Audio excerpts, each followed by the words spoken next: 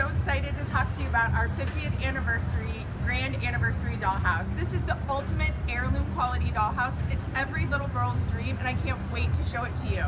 So it starts out at the very top with these super cute attic doors that open up to reveal um, solid wood laser cut furniture.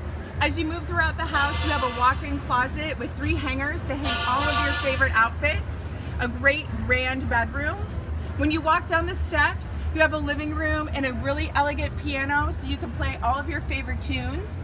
Walk down the stairs into the spacious kitchen and the dining room with its own fireplace. There's also a full bathroom and a sitting room where you can spend all your time with double level patios, lights and sounds, and all the doors and windows open and closed. This is one you sure can't miss.